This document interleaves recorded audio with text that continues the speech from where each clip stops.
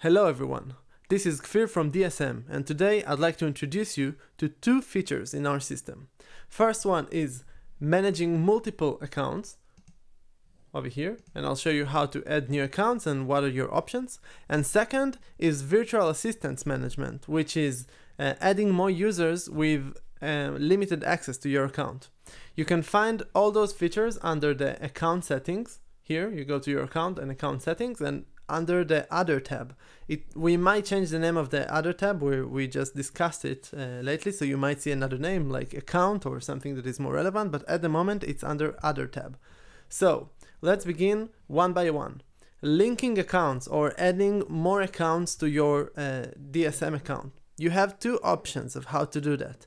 First, you can open a completely new account at dsm.com. You just sign up again with another account and you connect your other eBay store or you can even connect the same eBay store and when you connect the same eBay store um, you can for example I don't know some people like to manage some of their prime items and non-prime prime items on two different DSM accounts so you can link them. Uh, I have to say that this option is uh, only available if you have Magnum account so you have to have a Magnum or above. Um, in order to use it. So how to do it? You have two options as I said. One, you create another account and then you simply put in the email and the password. And when you put the email and the password, you click link account and it will link the two accounts as I have as I got here.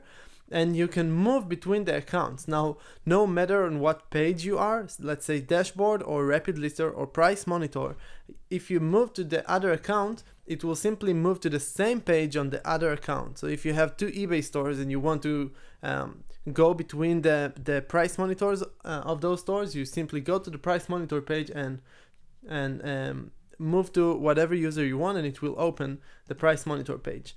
Uh, another way to add a new account is to click on this button. It's quite new actually it says create new account you enter the, the details of the account it's actually the same as registering with a new account except of uh, the fact that it will also take you through all the process of, uh, of connecting the account to eBay and doing everything that you already know how to do from uh, the day you open the new account.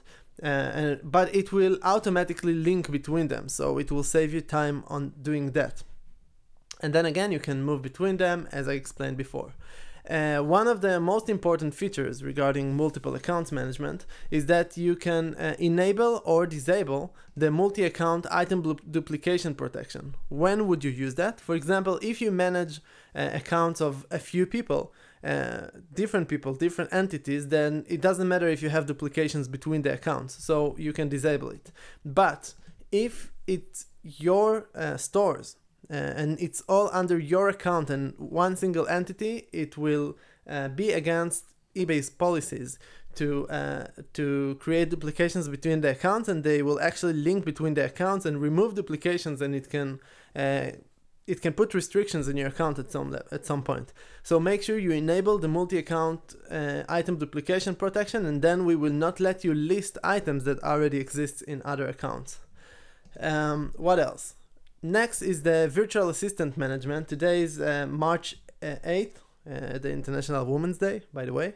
And um, so uh, we, we just launched it yesterday uh, on March 7, 2017. So maybe you watch this video in the future. But anyway, the idea of virtual assistant is the more you sell as you grow, your business grows, you need more manpower but you want to give limited access to, to the account. So over here you can see that I created video uh, virtual assistant test um, at dsmtool.com. This is an actual account that you can log into and over here I can assign different privileges. That's the name, it's called video test and I can assign different privileges to this account. I'll show you how to do it when I'll add a new user. So I can uh, I can have already made users, I can delete them or edit their privileges, and I can add new user, which also show the privileges, privileges, so let me show you that. When I add a new user, I add uh, the name, his email, so he could uh, access DSM, I assign some password, and then here is the most important part, I have account privileges, so I can show or disable the showing of the dashboard, um, same with the rapid lister and templates. I can show or disable showing the price monitor. I can uh, enable or disable the sales and profits page and check these two options which are the, the more advanced options. I can allow or uh, enable or disable the multiple items edit uh, editing in the price monitor page. When you can click and edit all the items that's very relevant. For example if you have a, a, worker that you give him access to the price monitor to, to do something but you don't want him for example to delete all your items. So that's quite important. You could delete one by one, but you know that's not as big damage as if you would delete all your items. And same with profits. If you don't want to show your profits, it will eliminate them from the price monitor and from the sales and profits page. These are two columns that says profits, so you can um, uh, choose what access do you want to give. For example, only rapid lister if your uh, assistant only works uh, with rapid listing. Um, so these are the two uh, these are the two features. We hope you enjoy them. We hope you sell more. Thank you for coming here and listening to me, and good luck.